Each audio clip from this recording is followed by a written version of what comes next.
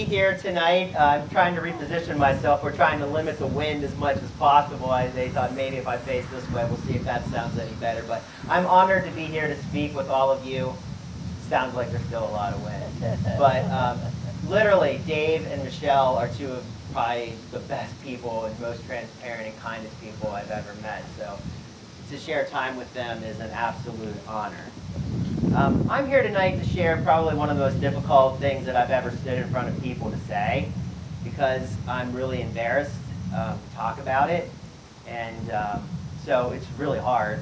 So I hope that you'll indulge me a little bit. I just want to tell you about my story of faith, about someone who, um, even though they were a Christian, still failed and still sinned, still messed up, but that God is so good and He is so forgiving and He is so kind. My story starts uh, when I was pretty young. I grew up in a Christian family. I, I accepted Jesus as my Lord and Savior when I was five or six years old. I um, tried my best. I was a very compliant kid. Uh, I listened to my parents. I did what I was supposed to do. I never got in trouble. But inside, I was scared. And what I was most scared of is that the people that loved me were going to die. I remember being six, seven, eight years old, worried about it all the time because I thought the only people in this world that loved me were my grandparents on my mom's side, my mom and dad, and my brother and sister. And that was the six people, and that was it. And even though I knew God, I didn't really understand how much He loved me. And I was terrified that one of those six people was going to die. And I spent many nights worried and crying uh, and thinking about what would happen if they died. I never liked death, and in fact, I remember being pretty young. I don't know how old I was, when a Sunday school teacher said, It's okay, it's good when people die. Uh, when they know Jesus, they'll go to heaven. And I remember thinking, That does not sound good to me. I do not want the people, especially one of the only six people I know that love me, to die and leave me all alone in this world that's hard. But as I grew, I continued to um, have God guide me in my life, and He, he, he guided me in that He wanted me to go to school. And so I went there and I studied the Bible for four years, and I got a degree. And then He wanted me to go to seminary, so I went to seminary. Three more years, got a, I got a degree, and then I finally was out. Uh, and then, so I don't know, 20 years ago, a little more. Um, and then I was in my first church. And uh, when I was at my first church, uh, one of those six people, my grandfather, the first of those six people, he got got really sick. And um, when he got really sick, I got really scared. And he didn't have too many other people around, so I remember I would go to the hospital every morning and I would try to be with him and then come back to the church and try to do all the work that I could. And I remember the Friday that he came in and he had an infection in his leg, an infection of blood, and they said he had to have his leg taken off. And he didn't want that to happen.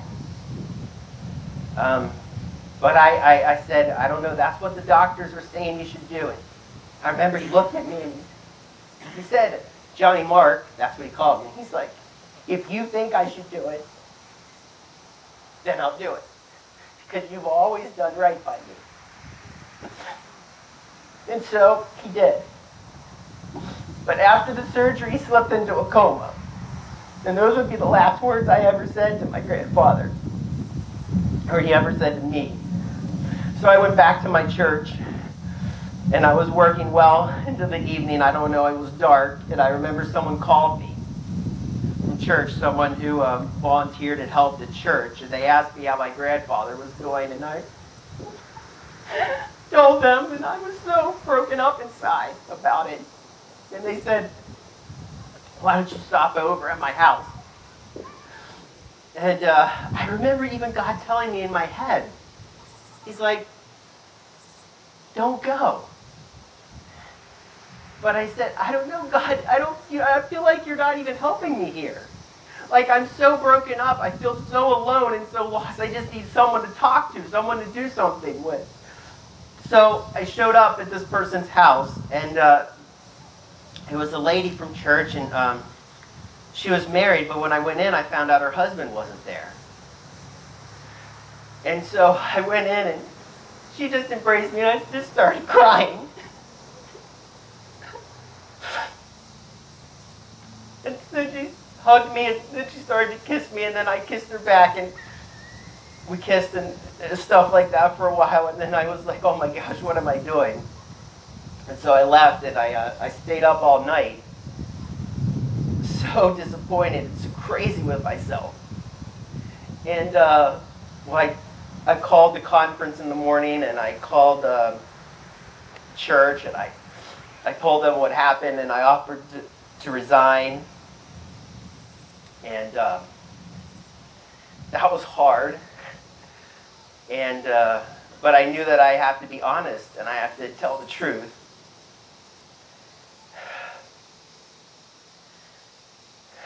And I'm so embarrassed to admit that, that I lacked faith in God.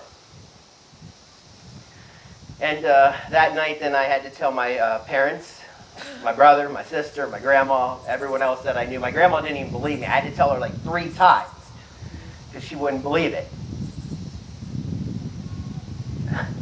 And I thought, I'm so stupid. I've thrown my entire life away. I spent four years going to school, three years going to seminary, hundreds of hours of study, tens of thousands of dollars. And now I don't even have a job. I have nothing.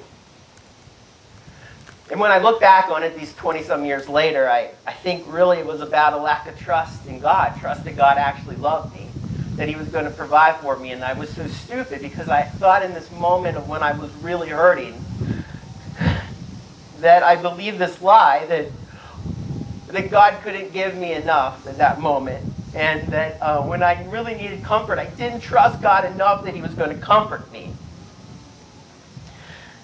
And so that Monday morning, my grandfather died. And I was the only one with him as he died and he passed into the next world. And I remember thinking to myself, things are never, ever going to be okay again. In fact, I remember, and I'm so ashamed to admit this, I know Julie shared last night about Pop. She was a Christian and she thought about dying. I, I wished I was dead. I felt like I, this pain is never going to go away. And I would never want to harm myself because of the pain it would cause to other people. But I remember thinking to God, could you just please let me have a, a car accident or something that I could die and then there wouldn't be any guilt for anyone else. But that I wouldn't be here anymore to have to deal with that pain.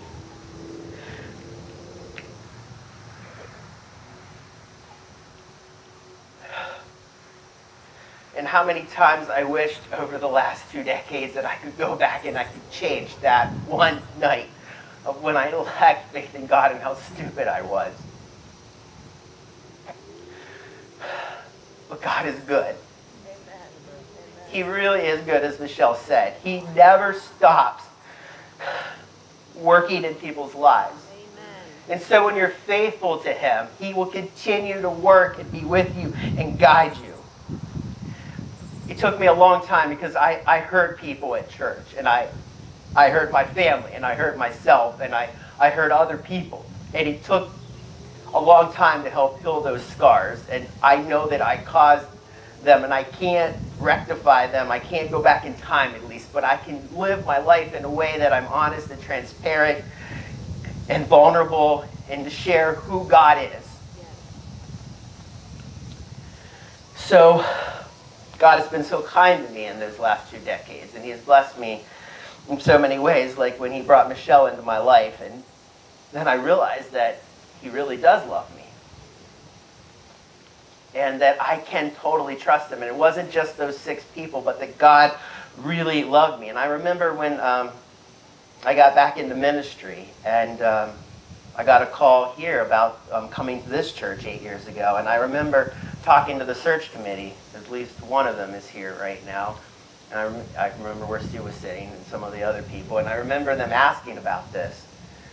And I thought, okay, well, I'm going to have to talk about this. This is hard. And I thought, well, well, once I shared all of that that I just shared with all you guys, they'll never want to hire me. But then I remember Ralph Shear was on the search committee, called me the next day, and Ralph was like, my gosh, that was perfect. And I was like, perfect? okay. Um, But anyway, what I wanted to share is because I know what it's like to be hurt. Because a lot of people have this idea in their head, like, I don't know, some people and pastors and other people, they have everything all together. And their lives are perfect and they're right and stuff. They, everyone has sin. Everyone has errors. Everyone has mistakes, things that they can't change. But that God is good. And He is working in and through even the mistakes and sin of our lives to bring something good out of it. And I want to transition to, to talking about something that, uh, the, or have a juxtaposition about how I felt and, and my response when my grandfather died because um, I lost someone else in that six on February 26, 2021. At uh, 1.59 in the afternoon, my dad died very suddenly. he was only 62 years old, and I, I just thought he was going to be around so much longer. And I think about him every day, and I have ever every day since he's died. But I, I remember that there is a little bit of a difference. Because now I know I can trust God, and my response is different because I wasn't as afraid of being all alone. I even remember the day before my dad died. Uh, I'm not a person who just looks up new songs or new to me songs on YouTube, but there was a song by Crowder and there was a lyric that said, Earth has no sorrow that heaven can't heal. And that song, just on the 25th of February, just kept playing in my head all day long. And I knew in the weeks that happened that God was trying to tell me and He was preparing me because He knew that my dad was going to pass away from this earth the next day. In fact, He knew before I was born, He knew before my dad was born that that would be the day that He would leave this world as he knows the day when all of us will leave this world, because we're all going to leave this world. And I didn't understand, and maybe I still don't always understand why God does what he does, but God knows. And I don't need to know. But I do remember when my dad died, I was, I was sad and I was even a little angry, and I was even a little angry and bitter at God just for a moment because he had never gotten a chance to retire, and he, he was so close to retiring, and all the things that he had wanted to do and travel and see, and that just broke my heart for him.